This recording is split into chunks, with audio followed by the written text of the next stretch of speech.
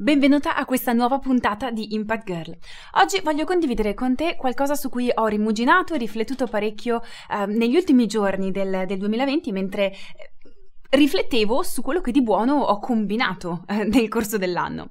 Prima di procedere però ti invito ad iscriverti al canale YouTube se stai guardando questa puntata dal mio canale YouTube, attivando la campanella per ricevere la notifica quando esce una nuova puntata. Se invece stai ascoltando questa puntata dalla tua piattaforma di podcast preferita, ricorda di lasciarmi una recensione se alla fine di questa puntata l'avrai trovata di ispirazione. Solo 5 stelle sono ammesse. Torniamo a noi.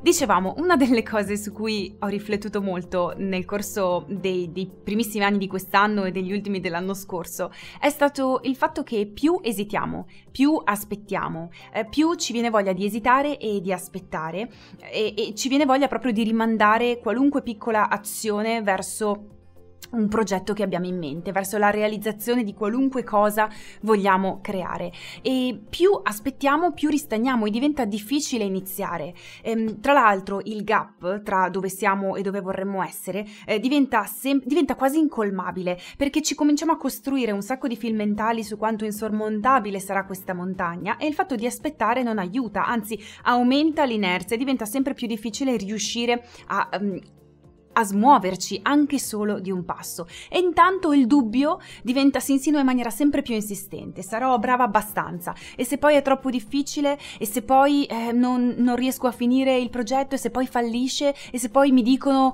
eh, te l'avevo detto e io non so che cosa rispondere?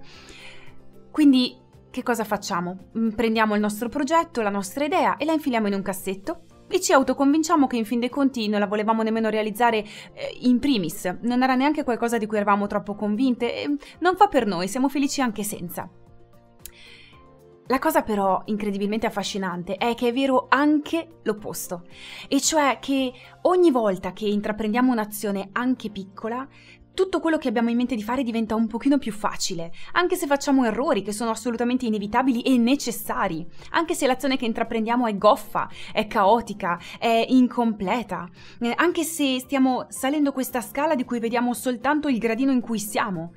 Ecco che però nel momento in cui continuiamo a salire, ogni gradino che calpestiamo ci illumina il gradino successivo. E anche se non vediamo la fine della scala, eh, siamo cariche di una nuova energia, di una nuova ispirazione, di una nuova motivazione. Mentre intervistavo per una puntata del nostro progetto digitale La Svolta School, uno dei miei autori preferiti contemporanei, Steve Chandler, lui mi diceva che e spesso pensiamo che l'ispirazione arrivi così, um, di punto in bianco, e, e così aspettiamo, aspettiamo che arrivi immobili.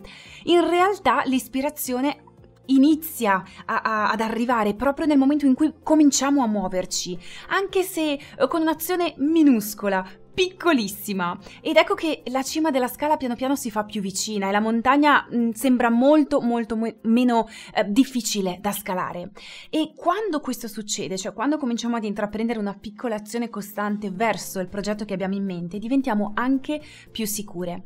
E più sicure ci sentiamo più continueremo ad intraprendere la nostra azione. Quindi si innesca sia in un caso come nell'altro un Uh, un meccanismo potentissimo. Nel primo caso mi convinco che continuo a procrastinare, mi convinco che eh, non ce la posso fare, che sarà mm, sicuramente troppo difficile e più procrastiniamo, più aspettiamo, eh, più la nostra inazione deve essere giustificata e quindi più ci convinciamo e cerchiamo delle prove del fatto che è proprio vero, non, non era il caso nemmeno che ci provassimo perché avremmo sicuramente fallito.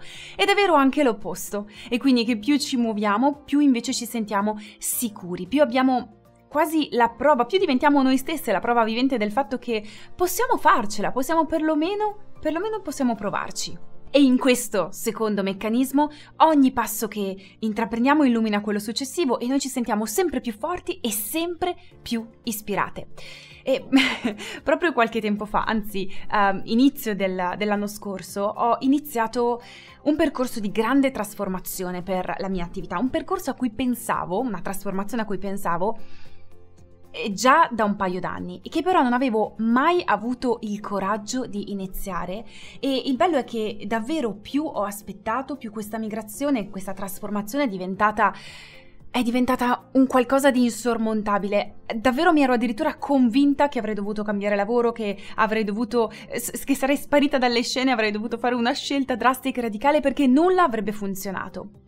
Ma nel momento in cui abbiamo intrapreso una piccola azione alla volta, la, la, cima della scala era impossibile da vedere, era lontanissima, questa trasformazione è durata un anno e sta ancora avendo luogo. Ma affidandomi a questo approccio della piccola azione quotidiana, quello che sono riuscita piano piano a fare è trovare la motivazione e l'ispirazione per continuare, anche se non vedevo la fine, proprio perché mi sono sentita più sicura, più forte e più ispirata. Quindi, qualunque sia il progetto che vuoi costruire quest'anno, fatti questa domanda, non solo oggi, ma ogni giorno, ogni momento in cui ti senti un po' scoraggiata e hai voglia di gettare la spugna. Qual è la prossima piccola azione? Qual è il prossimo piccolo step che posso fare per procedere?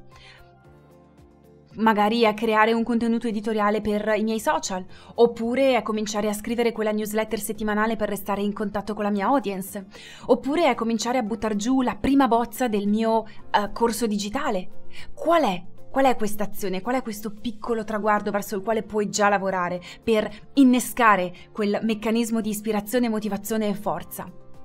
Ogni volta che ho raggiunto dei risultati eccellenti nella, nella mia attività, tutto quello che ho fatto davvero, la, la, la semplice e così efficace e magica formula che ho utilizzato è stato quello di una piccola azione costante.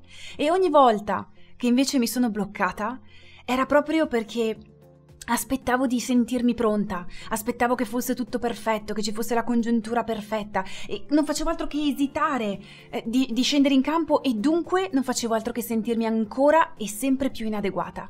Quindi basta aspettare, qualunque cosa tu abbia in mente, il momento di cominciarla è adesso. Se questa puntata di Impact Girl ti è stata utile e la stai guardando dal sito biz-academy.it slash podcast oppure da YouTube, lasciami un commento qui sotto e raccontami quale progetto vuoi far decollare quest'anno. Se invece la stai ascoltando da iTunes, Spotify o qualunque sia la tua piattaforma podcast preferita, lasciami una recensione a 5 stelle se ti è stata utile. Questo aiuterà il podcast ad ispirare il maggior numero di imprenditrici possibile e il mondo ne ha davvero bisogno, ora più che mai.